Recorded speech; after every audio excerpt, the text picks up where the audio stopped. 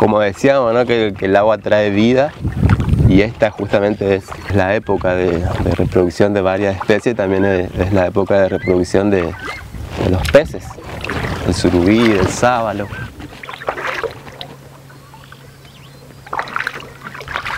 La comodidad ¿no? que te lleva el, el capitalismo y también creo que, somos como, como una especie que, se reproduce mucho, somos, somos muchos y eso lleva también como a un colapso social.